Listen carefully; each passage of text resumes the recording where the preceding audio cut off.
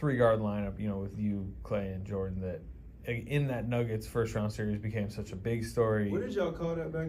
I mean, there was like 25 names. I personally didn't have a nickname. You didn't. You didn't participate. I willfully did not participate. um, but stuck because I can't remember any of them. Yeah, exactly. Um, but it, I mean, it kind of faded as the playoffs went on. But you guys used it to close the first half the other night. Do you feel like that lineup has a chance this season to, you know, be really useful to you guys? Uh, for sure, just because we have, I mean, yeah, I feel you, five, six, um,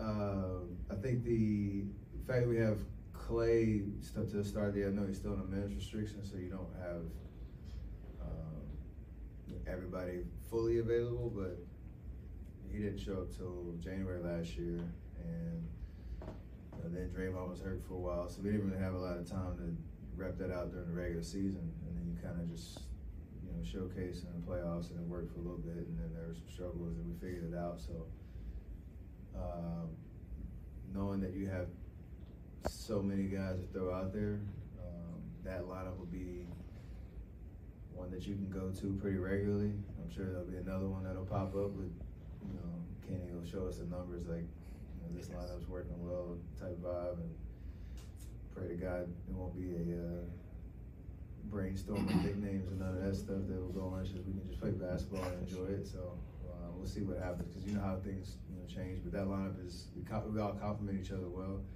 If you can get stops, you can push into transition and play fast, and spacing's crazy. So um, it's a good look.